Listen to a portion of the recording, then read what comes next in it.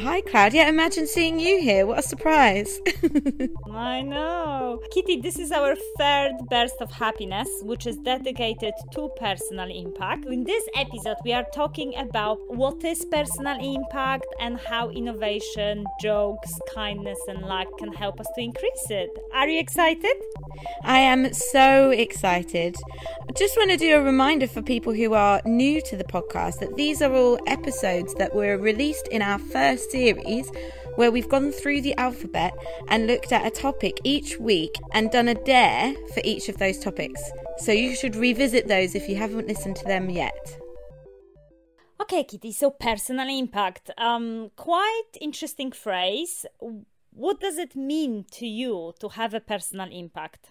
So, when I've been thinking about this, the word impact has been interesting because there's different scales, I think, of impact and also different longevity to your impact.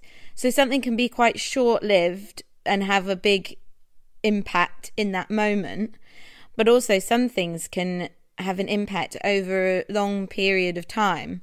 So I think personal impact is like thinking about what actions you take and what those actions look like outside of your own self. Can you give us like straight away an example to demonstrate? You can have an impact on something very short term and externally. Say you give somebody's asked you for some money and you've given them to them straight away. That's a short term impact on that person. There's no getting away from the fact that it's made an impact, but will it last that long? And then there's another longer term impact which you can have where perhaps you are working with a charity that supports the people that are looking for this money, where that impact has a longer life, a longer shelf life. Oh, I like that. I really like that distinction.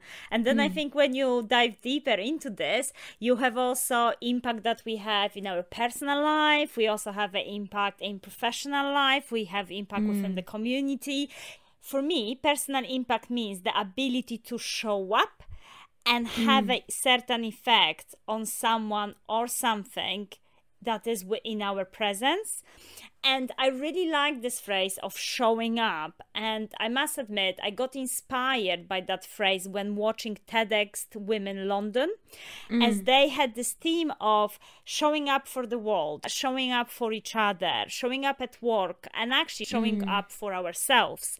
And I really like this phrase because that means that we can choose every moment how we can show up and every time we can show up differently. And as you mentioned we can show up at the smaller or a larger scale depending on our choices. I hear that as it's a very conscious decision and then you said choosing to.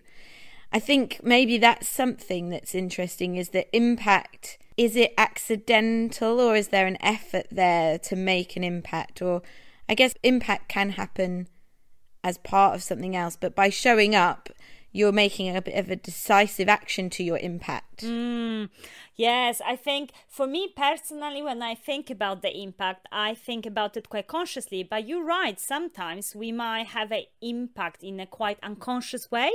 Mm. Uh, we may come across or make decisions that we actually don't realize how they impacted others around us. So we need to kind of sometimes be conscious about those elements which may be escaping our attention. How are they impacting the world around us?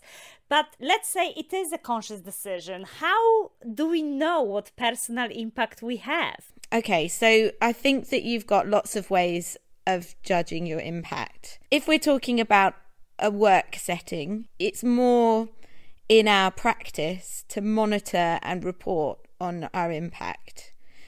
But I don't think in a social setting or family or relationships we report on our impact that much. But it's something that we have spoken about in previous episodes of like getting together, doing your dream plan, looking at the year before, and things like that. And actually, that is a way of judging your impact in that year for your relationships. Mm. So I think you can quantify it sometimes. Also, I think impact can you can judge your impact by other people's feedback and listening to what other people are telling you. You have to come out of yourself a little bit and look at the environment around you and how it's changing and what's being fed back to you to understand your impact. Yes, I agree. I think that feedback from others, but also kind of looking strategically of kind of our impact and input um, is this very conscious and very self-aware task that we need to take on to be able to assess it. I also think I would add to this list maybe uh, if we're thinking about bigger impact, uh, maybe our consumer choices that we make. Sometimes thinking, you know, how do we show up for environment and how our consumer decisions have impact on environment. And I think that's quite interesting one to think about. And a second kind of, let's say, source of feedback on our impact, it's uh, maybe a level of energy that we bring to our relationship in interactions. Because I read this quite interesting concept of being radiator as in radiating positive energy or being a drainer as in draining uh. positive energy i don't know if you ever encounter such situation or perhaps you know you were a drainer or radiator in certain relationships or meetings yeah but that's two sides of impact isn't it people mm. can have a negative impact when you were talking there about the environmental impact, I can't believe that didn't come to me while I was thinking. That shows how much I consider it. Kitty, this is not a competition. I know. But I didn't consider environmental impact, even though that is an absolute phrase, isn't it? Like, I mm-hmm. hear that phrase all the time environmental impact. So, and that's hugely external and also quite, well, very long term. That's not an immediate impact at all. Um, but I think the ch- the challenging thing to feel that impact, or the, I think what's hard for people to grasp for environmental impact, is it is hard to see that in front of you. Mm-hmm. So being being uplifting, kind. I mean, we'll come to these topics, jokes, these things that you bring to relationships. You can see an immediate effect of those actions and the immediate impact. But with an environmental um, example, you can't see it, you can't feel it, you can't touch it. You just have to read to understand that in the long term, your action now will have an impact later. Mm-hmm. But that's so hard to grasp or get the kind of reward or benefit from immediately. Mm-hmm. I agree. And I think that's why when you mention your short term impact, as you're saying, that's much easier. Longer term mm. impact, we almost need to have this trust and a faith that the personal impact that we are creating now will have an effect long term in the future. And we yeah. almost need to kind of trust that that will happen and that will be positive without seeing those outcomes straight away. But i think it is worth considering. I think it's worth considering impact from all these different angles that we're talking about. So conscious versus unconscious impact that we may have very short term in this immediate situations but also long term and on bigger scale like environment and also even impact in terms of feelings and energy and outcomes and considering all this feedback that we can get around impact. So personal impact so much into it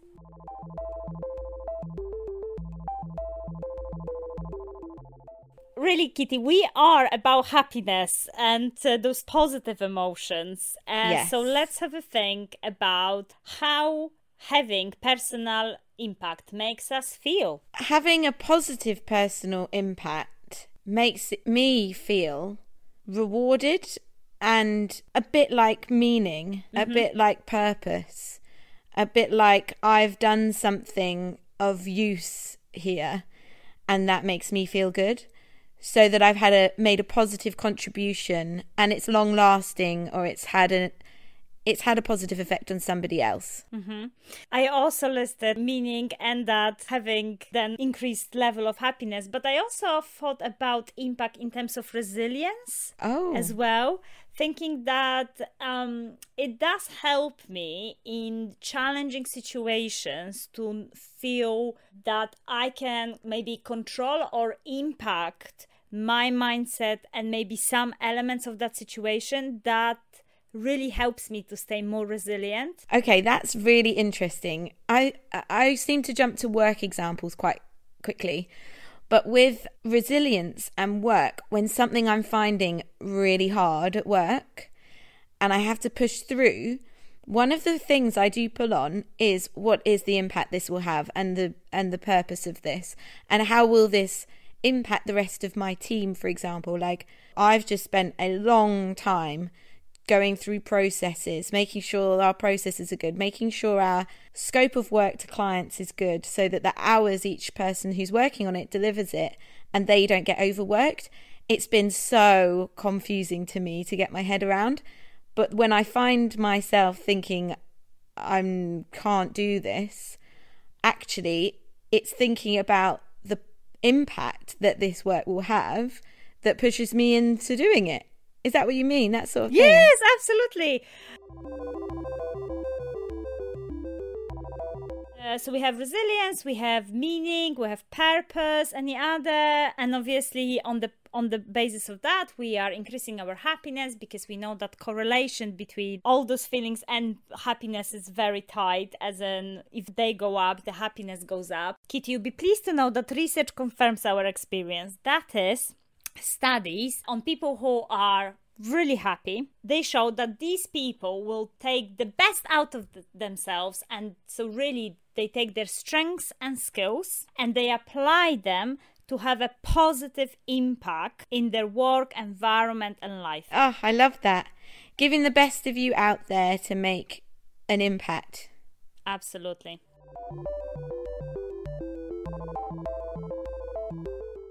I would like to know, Kitty, now how during last month or so you've applied learnings from innovation, jokes, and kindness and luck to increase your personal impact. So we can give our listeners something practical to increase their personal impact to be happy. How did it go for you? So, when we recorded innovation, we both found it really challenging. So, for that episode, what we established was you need a real problem to fix with innovation. So I was wondering how innovation would land this week because it was such a challenge before. And this made me realize the difference between short term impact and long term impact, and how innovation, in my experience, where I've related to the innovation, is in a very long term impact. So, this time last year, we created a training program that you worked with me on for hospitality training. Now, this time last year, that felt innovative but its impact was very, very low because it was just starting to get off the ground. We were just making it. And we've continued to make it and adapt it. And the, the innovation part of that project was is long gone. Now, a year on, I'm in the impact stage because I'm speaking to restaurants that have come on the course that are filling in my survey that are saying, I feel reinvigorated about my socials. I'm feeling confident to do my marketing now. And we're having a huge impact on these businesses that are in one of the most challenging positions they've been in. So, innovation, it's taken a year for that impact. But now I'm feeling the benefits of it and it feels amazing. I really love that example because it's so um, powerful to see the impact of our actions at the later stage when, as you say, during the time you may have doubts and there might be challenges and um, you may not see the effects straight away. But how amazing! So, congratulations, Kitty. That's like, yay, celebration. Thanks, Klaudia. And then, so then my practical, it's, it's sort of practical, but it's sort of, um, like what's whatever the word is for your own head and motivation and determination but not to and people have said it a billion times but don't give up just at the first hurdle of that innovative idea. And you know you do, it does need a, a good strategy a good route to success. But just because your idea and your innovative idea hasn't taken on straight away, it doesn't mean that it won't have an impact mm-hmm. later on. I like that. And I really love that you thought about innovation in this longer term. I actually thought about innovation and having that personal impact via innovation in shorter term of being able to have ideas and a quick fixes straight away. Um, and that's because uh, I guess I'm in the situation that I started a new role and uh, there are I'm coming with a fresh perspective and I can quite quickly um, identify something as I called quick wins. That is projects that have been started but not not completed and we can finalize them to make that impact quite quickly uh, or uh, projects that maybe didn't work and we can fix one little bit and they will start being more effective and more impactful. So it's quite interesting that i thought about it in a quite short term quick fixes whereas you thought about it in a more strategic if i want to have a long term impact on hospitality sector this is a longer term program that we need to um, kind of we need to launch but then we need to wait for those effects for people to really make impactful decision. But i think in both cases innovation is a fantastic tool to increase our contribution and a personal impact. I think we both agreed definitely.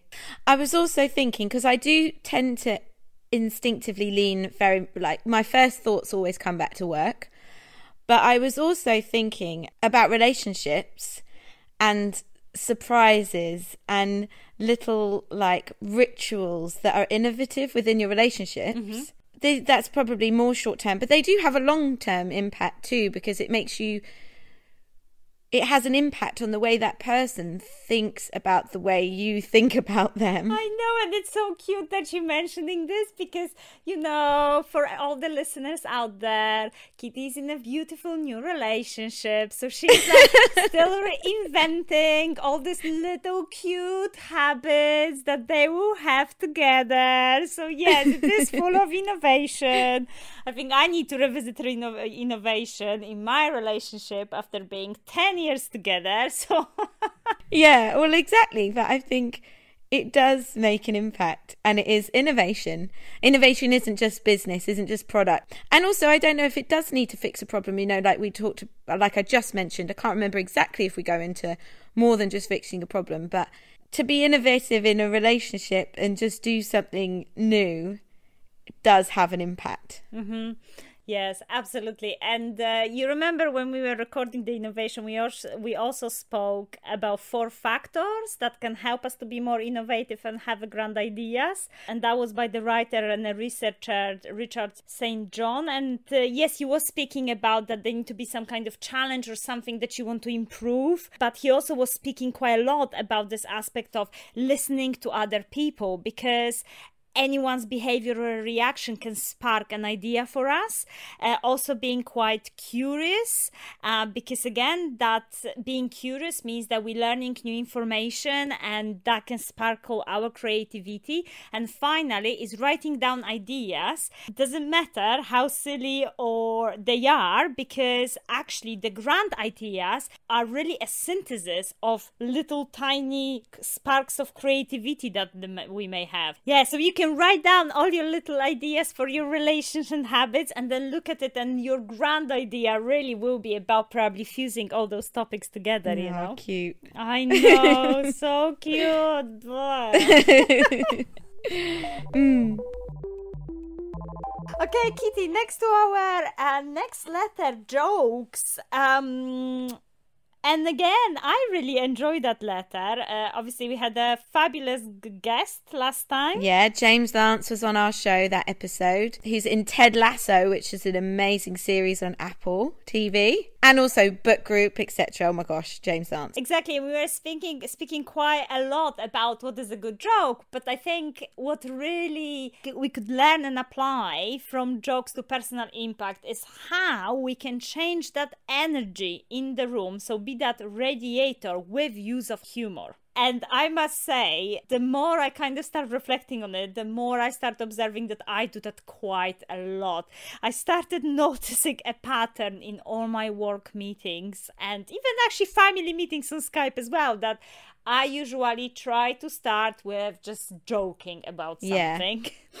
and uh, however, I also notice that the more I'm stressed about something, I'll be joking even more so definitely that kind of personal impact of uh, using your humor uh, can be one idea of how to bring that energy to the relationships. Yeah. I was thinking about jokes and how they have an impact on the way people think of you. So they can make someone quite memorable. But i don't think it's the specific joke that's memorable. It's the energy that that brings. So, like, oh, yeah, they were great. They were so funny.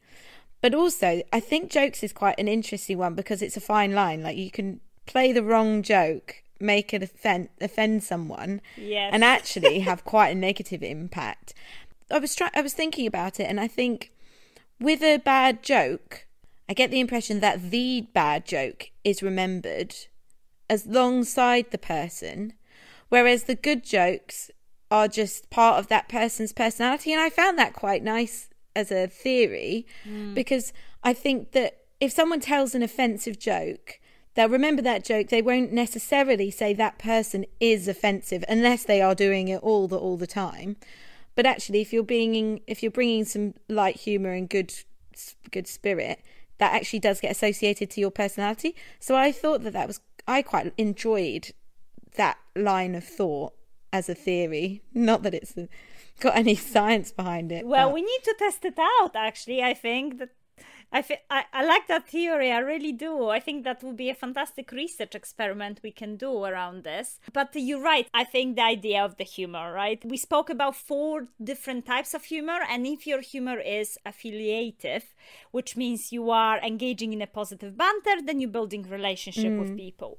If you have like self uh, enhancing humor, then it's simply a coping humor, which, as I already mentioned, that's quite important to me. So you kind of laughing at the tricky situation or um, something stressful to just kind of release that tension. But there is also aggressive humor, which can be seen as sarcasm, teasing, ridicule, and obviously that has negative e personal impact. And also, you might have self defeating humor, which is actually you attempting others to like you by being mean to yourself and you putting yourself down. So, again, that may make people cringe or make them feel uncomfortable. So, you're right, it is a fine line. But I am hoping that your theory is uh, correct because in many many times i made a bad joke so i'm hoping that people don't remember me they just remember the joke I think they remember you and the joke, but I don't think the joke determines their opinion on your personality. That's my theory. So I've never done a scientific um, research piece, so this will be my first one. yes we're looking forward to seeing the results kitty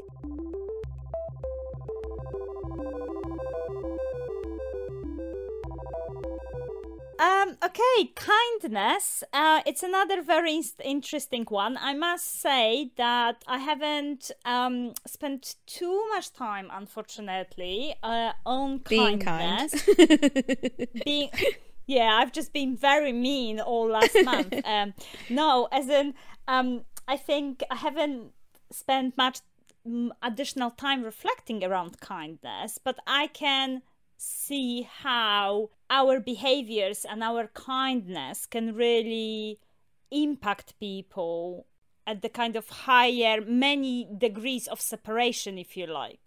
So if you're impacting one person around kindness then you're impacting probably people around them as well. And there is a research that confirms Yeah. that.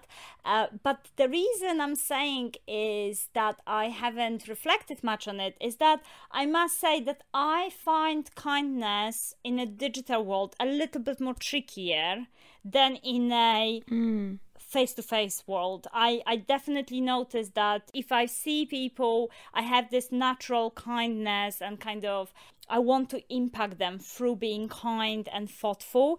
Digitally, I try, but I need to consciously try to do something. If that makes sense. Um, I don't know whether you use kindness uh, to increase your personal impact at all. I, I think the reason as well that I, I didn't spend as much time thinking about kindness because it feels so obvious Yeah. that kindness has an impact. It's like the most obvious one that that, that being kind Yeah. is going to have a positive impact. But in terms of like the practical nature of current situations and how to proactively be kind, from working in social media and online, it is all over the place that you want to be positive. When you're going to write something on the internet, be kind. I was listening to the radio. RuPaul's Drag Race has just had the final, and the um, one of the old winners who's now released a song was commenting on how whenever the winner's announced, someone is on Twitter, hundreds, thousands of people are on Twitter saying bad things about them that the other one should have won. That's one example of one TV show. Just don't do that bit. that's that's a way of being kind. You know, just don't send that message. You know, think about it before you do it. Is it kind? Go for it. Is it not kind? Don't. I mean, the thing is, it's kind of boring to talk about because it's obvious to mm. us yeah. But maybe people don't realize that yet. So Yes, because we accepted long time ago that the kindness is the new cool and we love the entire concept of the random act of kindness. Yeah. Uh, but yes, I do feel that if you do it digitally, you do need to do it much more consciously than that spontaneous kindness that you can have when you are somewhere there with people around you. Yeah. Something I do at work now, which is something I have to push to do. If anyone's listening that works for me, it's not like it's because I don't want to do it. It's because it's a it's a task and it's important, so I put a lot of effort into it. But every Friday we do a roundup. I write a roundup of every team member and what they've done and what's been good this week. It goes out publicly, and then one week I put an extra amount of effort and did it all as an analogy of the circus. So everyone had a specific role in the circus and what their work had been is an analogy into the circus. And everybody loved it so much. And I could see the knock on effect of what it had to each other's talking to each other and communicating because we're all just messaging on Slack. Everybody's in their own rooms, very separate from each other physically. Communicating on Slack in this public way isn't really like what everybody wants to do, but because there's been a bit of effort made and it tapped into some sort of silliness, but it is essentially like it's kind because everyone's gotten a little positive boost for where I've seen and I've seen them and seen the great work that they've done and I've acknowledged the great work that they've done. That is not rocket science. It is a bit of effort and it goes a long way to make people feel appreciated. Mm. So I guess that's a bit of practical and but I I think it's because of what you were saying there of the digital world is so much harder to do that in. Because if we were sitting next to each other, we'd be like, oh, that was an amazing job you did, great there. It takes two seconds. To actually write up a whole report on everyone's actions this week, you have it takes a few hours to do that. Um, mm-hmm. So it is yeah, harder right yeah. now. But I love your example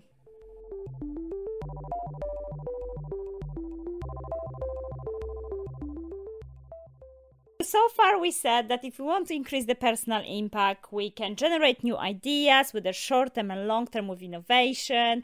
We can make jokes to boost the energy in the room, but let's be cautious. Let's definitely um, kind of use the uh, humor to our advantage and in a kind way, let's say. Uh, and then definitely be kind uh, to others uh, to have that impact and the wider community because it has that ripple effect. And you see that on social mm. media so much.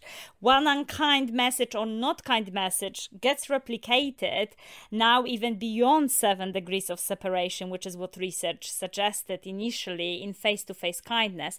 But I also felt that in order to have that personal impact, we have to have opportunities to do that. And that's when the lack really comes in.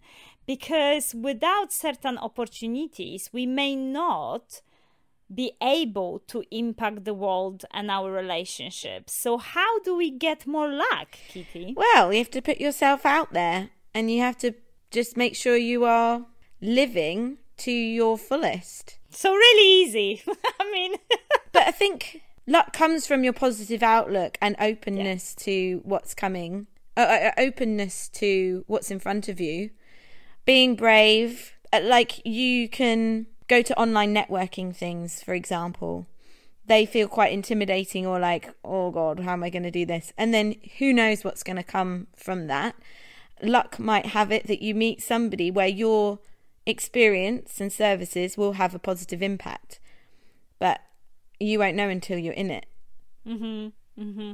We spoke so extensively in our episode on luck how luck is a mindset, and Richard Wiseman is a researcher who really stresses it that if you are whether you lucky or unlucky, it comes to your belief and it really comes how open minded and engaging you are in your opportunities, like you just mentioned, networking, and also how much you're expecting positive outcomes even in negative situations. And he runs a luck school when you learn certain principles of lucky mindset.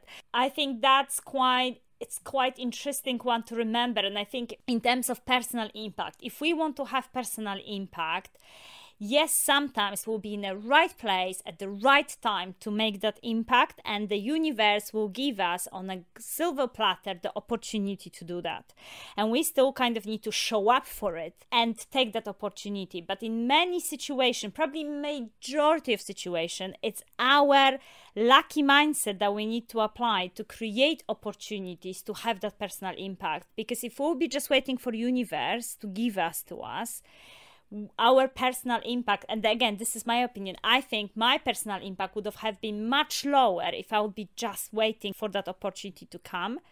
So it's being that proactive in generating lucky opportunities. It's almost like the more lucky i am the, the, the harder i work on having that personal impact. I went down a bit of a different route with my notes and how the fluke of a lucky incident can impact the rest of your life. But then I think it's with, with in relation to happiness, it's your perception of that incident yeah. that has the impact. Yeah. So if you see, and the example that you gave us in the original episode was if you're in a bank and you get shot at, you get shot at in the arm, do you think of yourself as lucky or unlucky?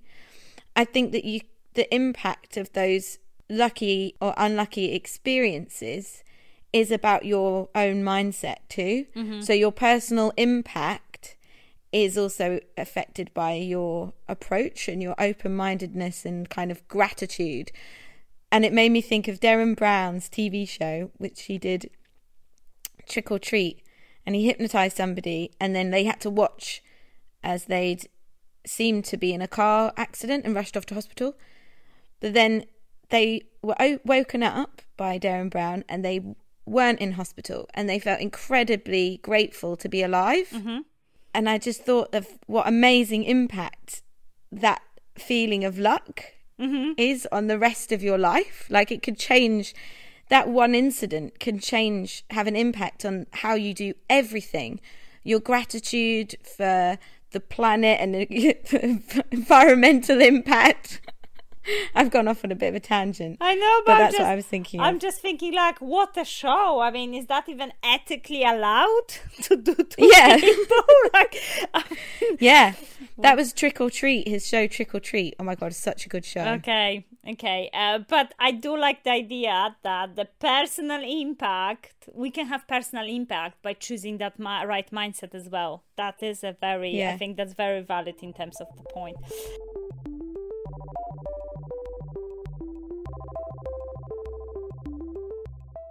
Oh my god, Klaudia, that was such a great episode. We talked for ages. I know, I know. We spoke for ages, but personal impact, as in our ability to show up and have effect of someone or something, is so important. And I am mm. hoping that the listeners got inspired by innovation, jokes, kindness, and luck, and will be applying some of our ideas to increase their personal impact and therefore boost their happiness. Exactly. For episode four, the fourth burst of happiness, we're going to be talking rest and happiness. And we're going to look over the episode's meaning, numbers, ordinary, and play, and see how all of those things affect our happiness in relation to rest. So if you haven't heard those episodes, please go back and listen to them now. They are really good. We would love it if you could tell one person, one friend about our series, anyone you think that would enjoy our podcast and happiness, because that is making such a difference. And please message us with any of the dares that you've done. We love getting those messages. And as always, we dare you to be happy. Bye. Bye.